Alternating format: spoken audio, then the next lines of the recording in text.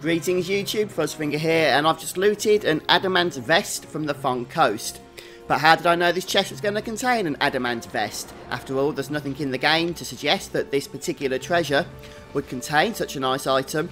Well, stay tuned and I will teach you how you can download not only the map for this area, but the map for every area in the entire game in one package, completely labelled with all the treasures that you can possibly get, and then farm them to your heart's content. Stay tuned.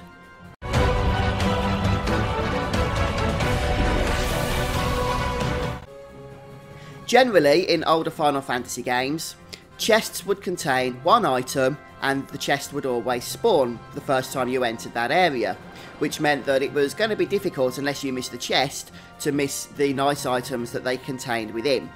In Final Fantasy XII and in the Zodiac Age, uh, things have changed a little bit so that there's more randomness involved. Basically, chests, although still having fixed locations, aren't always guaranteed to spawn, and when they do, there's variance involved in what items can be contained within. This means it's entirely possible to either miss a chest because it hasn't spawned, or to open a chest and get something that wasn't the item that you could have got and would have liked, and then never know about it.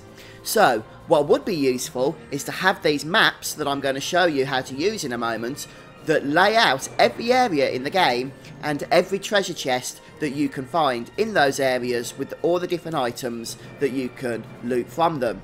Now, the good thing about Final Fantasy XII is that you can zone in and out of an area to reset the treasure chests.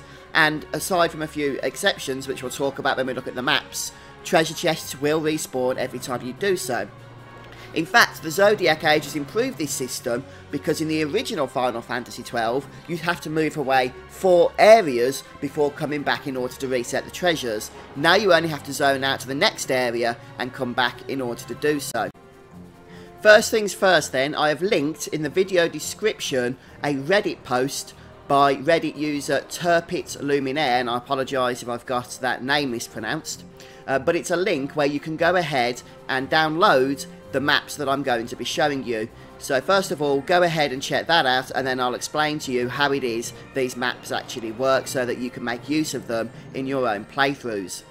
Right, so this is the link that I've given you and this is TirpitzLuminare's Reddit post.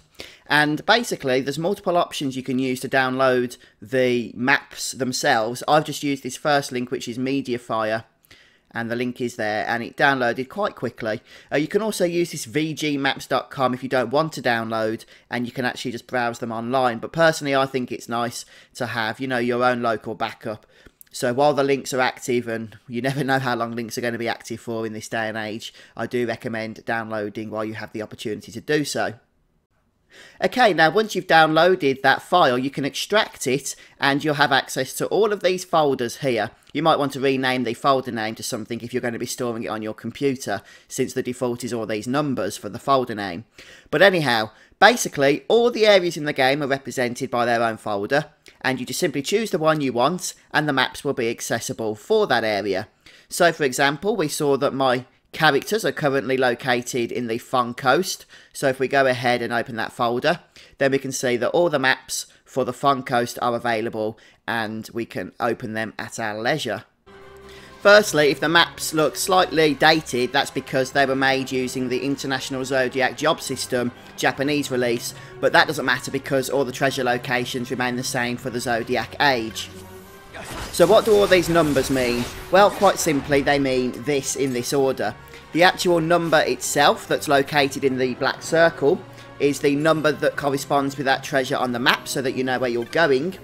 The next word, which is either yes or no, in most cases is going to be yes, meaning that the treasure in question is going to respawn when you rezone. If it says no, then it's a one-time only treasure that can't be farmed. Next up we have multiple numbers going across from left to right for each treasure, and they mean this. The first number is a percentage, and that basically is the percentage chance of the chest spawning each time you zone in. The next percentage, which is the next number, is the chance that the chest will contain money or gil instead of an item. So if it's a 50% chance, then half of the time that chest is going to spawn gil.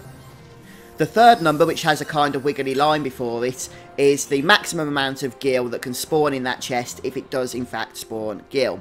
Then next up, we have four items for each chest. The top two are the standard items that can drop, and the bottom two are the items that can drop if the party leader has the diamond armlet equipped.